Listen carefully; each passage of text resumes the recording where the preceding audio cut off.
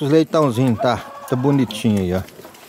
E tá assim, na vida do jeito que eles gostam, né? O bicho quer ficar no barro, tá no barro, quer estar no chiqueirão grande aí, né? Então vai no barro, vai lá pra, pra casinha deles dormir. O importante, pessoal, é que eles têm que dormir no enxuto, né? Eles têm que ter um lugarzinho deles esconder da chuva. Deles dormir no enxutinho. Então ali em cima tem a casinha, ó, né? Casinha lá, ó. Então lá tem um palete que eles dormem em cima da tábua, enxutinho, né? Mas nós estamos jogando. Isso aqui é praga que dá no quintal, ó. Esse aqui é o tal do amendoim bravo, ó. Vocês viram, tanto que eles gostam. Olha lá, ó. Olha lá.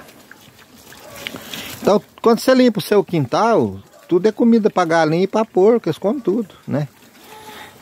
Olha lá, que beleza, ó, os bichinhos, né? É bom demais da conta, pessoal.